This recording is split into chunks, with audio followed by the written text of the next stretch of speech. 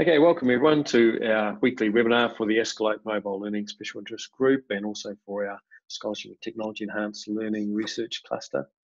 And uh, this week we're discussing with um, Ben Soltani uh, some of his research. He's doing some really interesting re research around um, graduate capabilities and the link between um, higher education and work uh, integrated learning.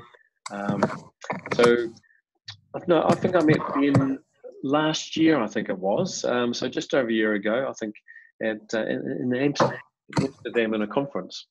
Uh, it was the Ed Media conference, and um, it was just nice to meet someone from from New Zealand there, and, and Ben had his whole family there, so uh, it was great to meet the family. And uh, it was just great to brainstorm ideas and to find someone who had very similar ideas around um, developing creative uh, creativity in students, going beyond competency, looking at developing capabilities and and uh, graduates who are really able to to um, you know live and work in in, a, in a, a, real world rather than the the uh, what we tend to do is pump them out with a set of competencies that um, they then got to try and apply in the real world. So it was great to sort of knock around those ideas. So I've asked Ben to give us a bit of an overview of his research today. Um, and just before he does that, we also have Neil, Neil from uh, all the way from Japan, joining us as one of our participants today. And we also have Brioni. So Brioni's in Australia. Whereabouts in Australia are you, Brioni? So I'm at, I'm at QUT in Brisbane. Um, and I'm a learning designer in the Science and Engineering faculty. Great, great to have you on board today. Thank you. Thanks for joining us. So I'm just going to hand over to Ben and uh, Ben, if you just want to talk about some of your research, um, I think you said you got something to show and we can ask questions as we go along. So thank you, Ben. Um, kia ora koutou, everyone. Um, thank you, Thom, for inviting me for um, this presentation to talk about the research I have been doing. So um, as Thom pointed out, I have been researching um, capabilities in the learners, um, the staff. I've been interviewing employers, um, and I have um, conducted ethnographic studies on the capability construction um, among these various um, groups. So the question which, um, well, the topic I'm going to talk about today is what makes graduates employable, basically in order to find out answers to this question, I carried out um, 50 interviews with employers from diverse, you know, sectors, including ICT, uh, construction, and quantity surveying, um, hospitality, and business in general, all across New Zealand. Um, I used qualitative in-depth interviews to elicit the um, employer's perspectives about what they actually look for to say in a graduate. So what kind of capabilities, what kind of experience, what kind of knowledge, what kind of expertise, you know, they were looking for in order to um, employ that particular individual. So the concept of um, graduate employability has been defined from two opposing discourses. One considers graduate employability as an amalgamation of skills, attributes, um, qualities, skills that individuals, you know, graduates need to display in order to become employable. Uh, different institutes have got different um, capabilities. You know, for example, the University of Sheffield has come up with 108 capabilities that they think you know would make graduates employable. Otago Polytechnic has come up with 25 capabilities that, well, it is claimed that you know will make graduates employable. But there is also another perspective which looks at capabilities from a process-oriented approach.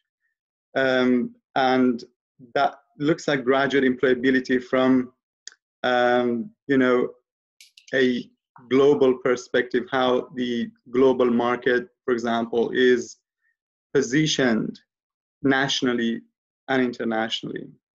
So there are three different aspects that this particular perspe perspective looks at. One is the macro um, level, that is how the market is positioned, you know, in various fields, for example, in IT, um, both within, for example, in my case, in New Zealand and globally. And the meso level, that is how, um, you know, what kind of activities the educational institutes and the workplace do to make um, the individuals, employees, graduates employable. Um, for the educational um, part, for example, um, what kind of activities um, the student success um, do, student success team do uh, in the institution to prepare these individuals for the world of work. Teaching and learning, the activities that teaching and learning um, do to um, better prepare the individuals for the unforeseen, you know, conditions and situations um, in the world of work. And so the meso aspect looks at the institutional, more institutionalized aspect of graduate employability. The micro aspect looks at how individuals, how graduates experience the um, social space of the workplace and what kind of experiences they have in order to be able to function well within that context. So the research that I conducted positions itself in the second or the latter perspective rather than the first one. So it looks at the more process oriented approach. Um, I used NVivo 11 to analyze the data I collected from uh, the um, employers uh, from these different uh, sectors. And there were five different themes that emerged from the data. These themes included uh, cultural capital, social capital, psychological capital, identity capital, and human capital.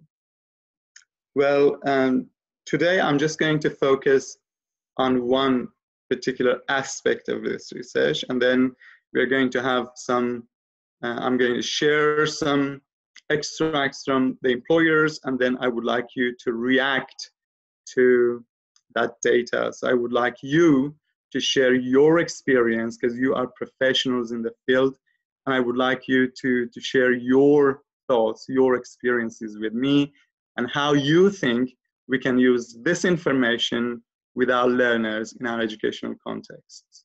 So, and the concept of uh, sociocultural capital is defined as uh, those um, psychological resources that are available to the learners, which could help them to be able to, um, you know, actively and proactively engaged with the unforeseen conditions in the world of work, the real world. So um, in the research I conducted, there were a few themes which um, emerged. I don't know if you can see my screen, can you? No, not yet. No, no, okay. So uh, these themes were just like and uh, displaying a growth mindset, resilience and adapting to change, being aware of what one knows and not know and using it as an opportunity to learn, and also um, learning from mistakes. So I'm just going to share my screen.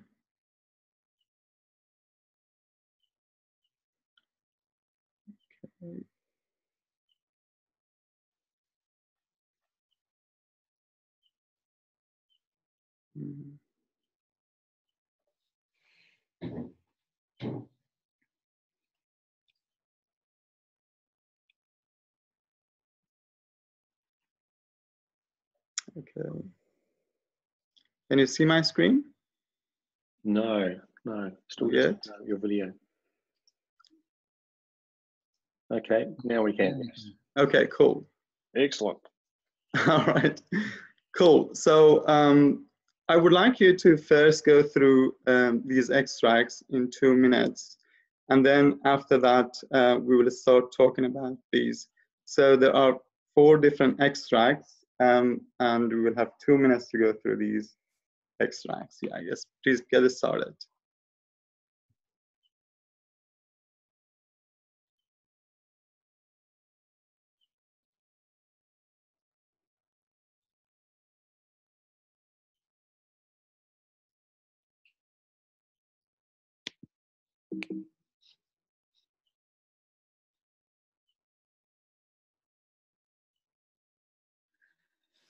Ben, could you scroll down a little bit?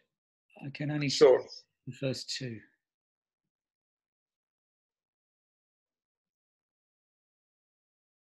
Thank you.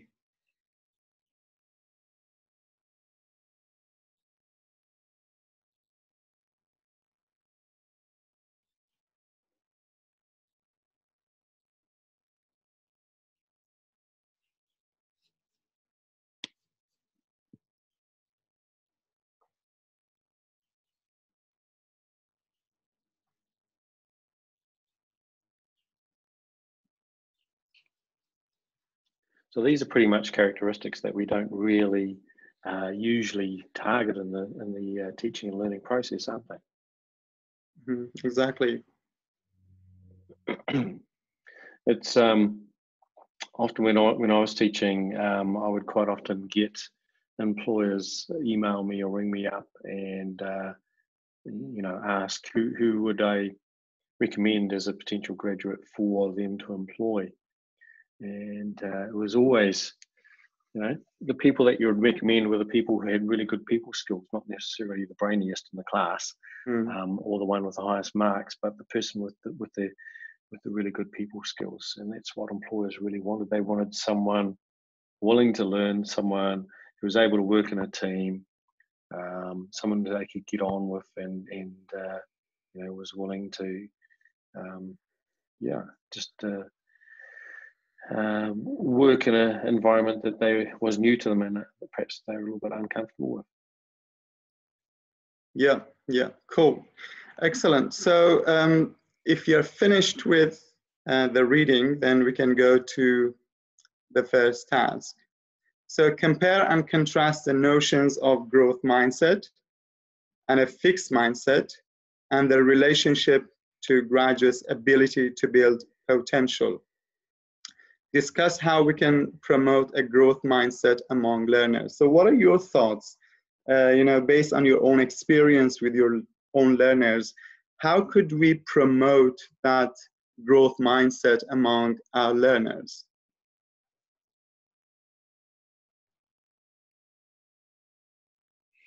Yes, Yes, Neil.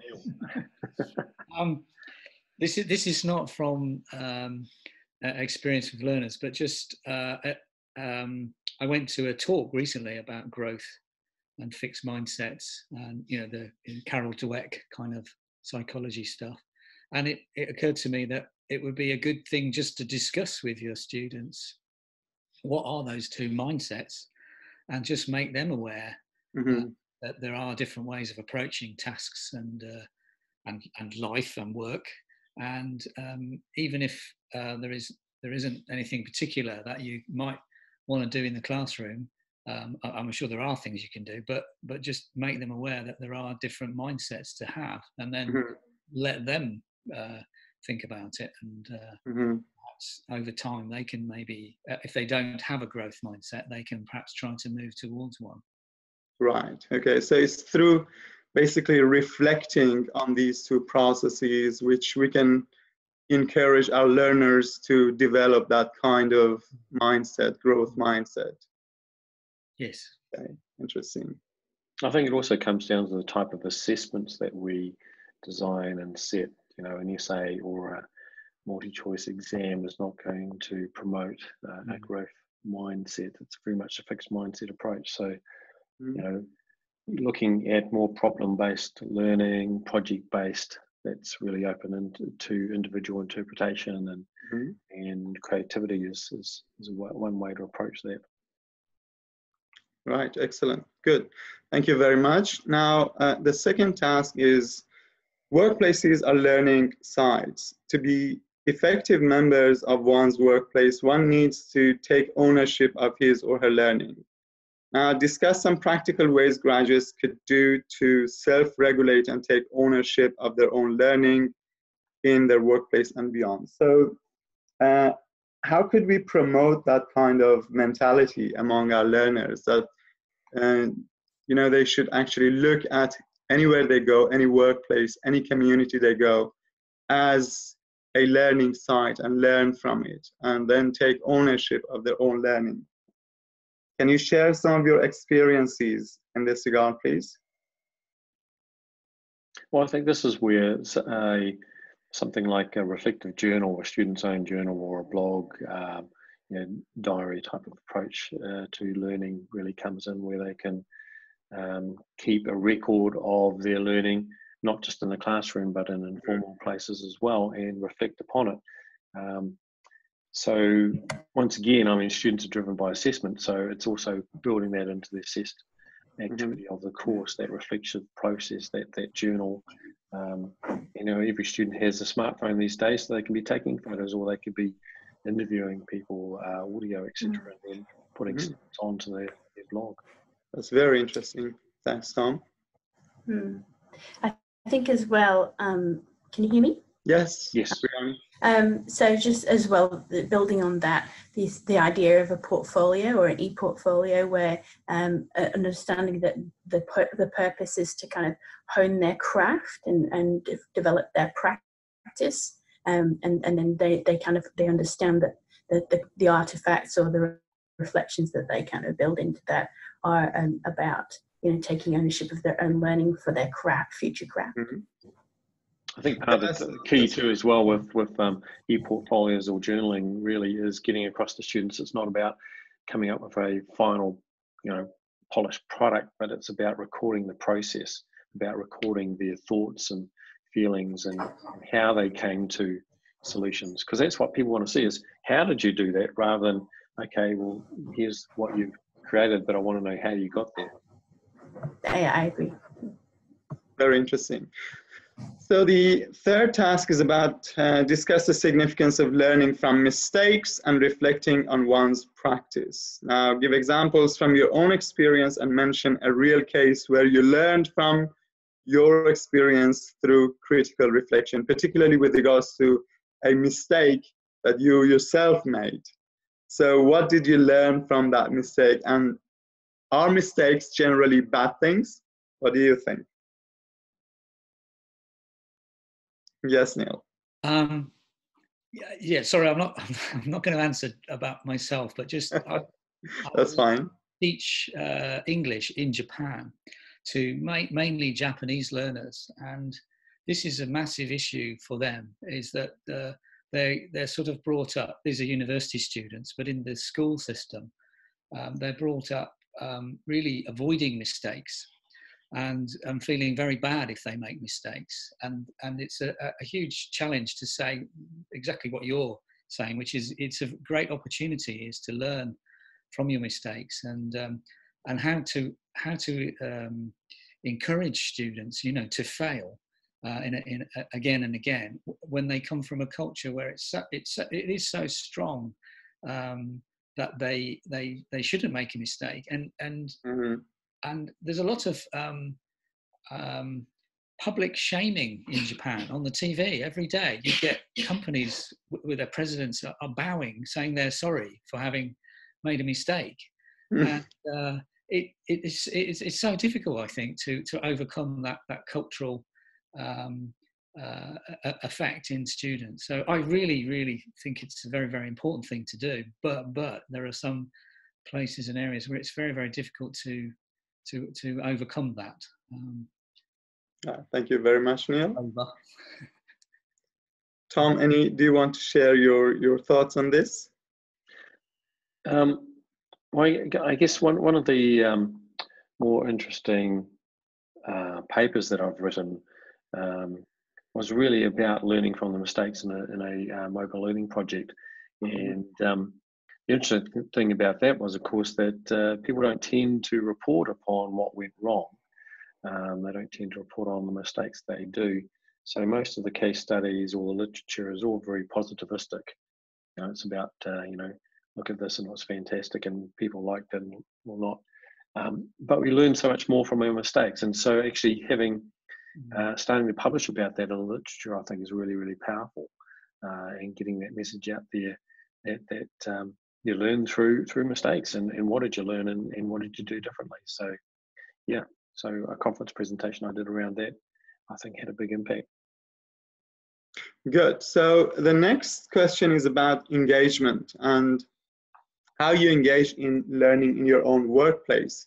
What are some of your strategies to um, actually um, work with the others in your own particular workplace?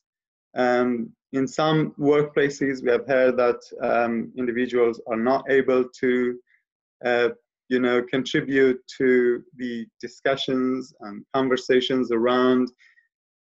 And in some others, we, we have heard that, yeah, you know, there's a lot of conversation going on and individuals, you know, uh, employees um, contribute to um, what is going on in the organization, the challenges, um, they put forward, forth their ideas. Um, now I would like you to share some of your strategies about what we could do to engage more in, in our workplaces. So I think for me, one of the keys is um, having conversations and sharing ideas. And I tend to find most of that happens around, um, you know, uh, uh coffee coffee breaks. And so actually um, making sure that you embed into your daily routine mm-hmm. time to go and have a social uh, catch up with people because it's not just social. You start actually talking about real issues and sharing those. And um, so I think that's part of the key. And uh, in the International Journal of Academic Development, which is you know my my area, um, one of the most read papers there is by Neil Haigh, who used to be one of my colleagues here, and it talks about those uh, informal conversations around uh, around coffee as being incredibly important to um, the culture. So right, my tip. Very interesting. Thank you very much.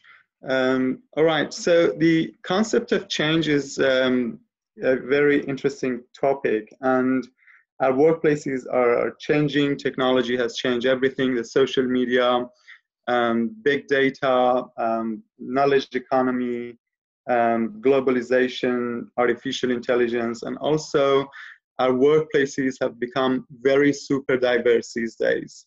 So we just see that constant change all the time. Now, the, the next question I just want to ask is how could we deal with that change at work? So think about some of the things which uh, have changed around you, for example, in your own workplace, and how you have reacted to them or if you could just give some examples from your own experience. Mm-hmm. Any thoughts? Um, I, as I said earlier, I work in a, in a university and uh, there's lots of change from above that have no, like our lessons um, used to be uh, an hour and a half long and now they're 60 minutes long and they're going to be 50 minutes long and uh, have no uh, opportunity to to really do anything about it. And um, you can view those changes positively or negatively. And I think the way I've come to view them is just to accept that these things happen all the time, and uh, and uh, and there isn't a lot of point in like being either resistant or terribly um, positive about them, but just uh, it's somewhere in the middle and and accept that things are always in flux and you have to if something's not changing then maybe there's, there's something going wrong. So uh, th- that change is a constant and you need to just uh, accept it and try and do your best uh, within that uh, framework all right thank you very much neil great excellent now um, Well, think about a challenge. The next task is think about a challenge you have recently faced at work and discuss the strategies you apply to overcome those challenges. What could we do if, you know, a problem just comes up and, um, you know, we face that challenge? What is your first strategy? strategy? What is the thing that you could do in order to overcome that challenge?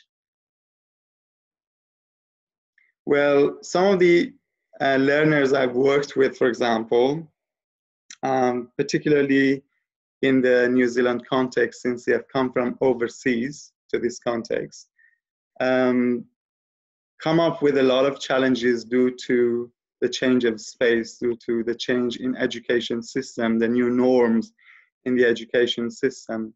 And then they have to adapt themselves to those uh, new changes in the in the education system, for example, in their surroundings, in terms of teaching, in terms of learning, uh, in terms of um, giving each other feedback in the classroom, um, co-constructing knowledge.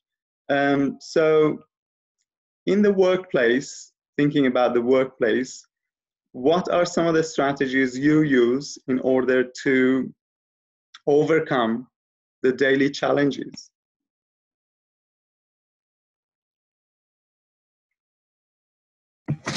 Thom's is going for coffee. Um, mine's going for lunch, actually. Uh, try and have those informal conversations with others. Sorry, Bryony, I interrupted your finger. No, yeah, I, I was going to say something very similar. And um, I really do rely on uh, my colleagues. We've got a really good community of practice here, which is, um, I think, we're very fortunate. So we do um, you know, we, we, share challenges and we we talk about you know um, our different experiences and how we've managed those things. So I think yeah, relying on your colleagues is a good strategy. Yeah, yeah, yeah relation relationship building's um, really key.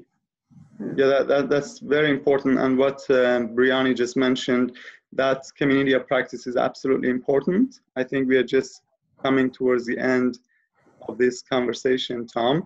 But uh, developing a community of practice is absolutely important because it is through a community of practice where we can engage effectively with our colleagues because you know we have the shared interests with some of our colleagues uh, we have um, shared values with some of them and and these are the people who could actually help us to overcome those possible challenges in the workplace so talking about it and as uh, Thom mentioned, just uh, establishing that relationship, that rapport building among colleagues at work is absolutely essential.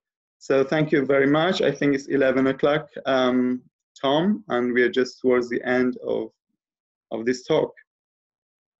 Yeah, so thank you, Ben, and um, really interesting and a great way of modeling, um, yeah, putting into practice what you've been exploring as well by getting us to interact, which is great. And so, what's what's the next steps, Ben? What what are you aiming for next? What's the next part of your research? So the next part of the research is um, well um, to go to some of these workplaces and video audio record interactions in the workplace and see how things get done uh, in those particular workplaces and what kind of experience, what kind of knowledge, what kind of capabilities um, the particularly in my case graduates need in order to be able to be more effective members of their workplace communities of practice. And so it's um, using technology as well um, you know we could um, create um, activities for the learners those who are not familiar with the workplace environments um, particularly in contexts like new zealand and particularly for the international students who come to this context, and familiarizing them with some of the features, some of the values, some of the um, you know ideologies that go on in those workplaces, and how the you know in those workplaces they um, they do transactionality, they they get things done through work, through interactions. So that that's the next step for me um, that's an ethnographic piece of the study I'm just going to to do next in my in my next research. Great.